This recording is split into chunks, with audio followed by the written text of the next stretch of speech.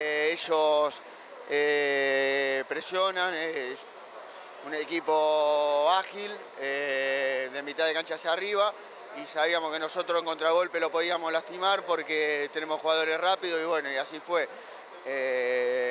tuvimos varios contragolpes que se pudieron terminar bien, algunos no lo pudimos terminar, pero, pero el equipo en un partido difícil eh, lo sacó adelante. ¿Sentí que pegaron en los, en los momentos justos del partido? Sí, sí, pegamos en los momentos justos, pero también tuvimos algunas eh, situaciones antes de contra que no pudimos definir. Eh, pero no, partido duro, duro como sabíamos que iba a ser, como van a ser todos.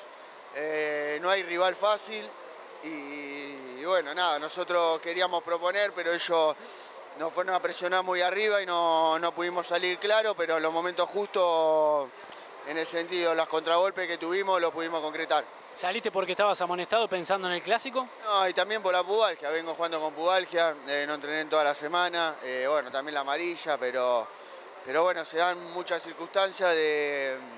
Justo habíamos hecho el segundo gol, ya el equipo estaba más tranquilo y, y bueno, también la amarilla y se junta todo. Escúchame, eh, puntaje ideal. Se viene el clásico en el bosque, platea H inaugurada, 25.000 almas. ¿Qué pensás? No, difícil, difícil como todo, más los clásicos, pero, pero bueno, ahora descansar y, y bueno, después pensar ya en el partido. Pero como siempre, todos los partidos son complicados, más los clásicos, así que trataremos de sacarlo adelante.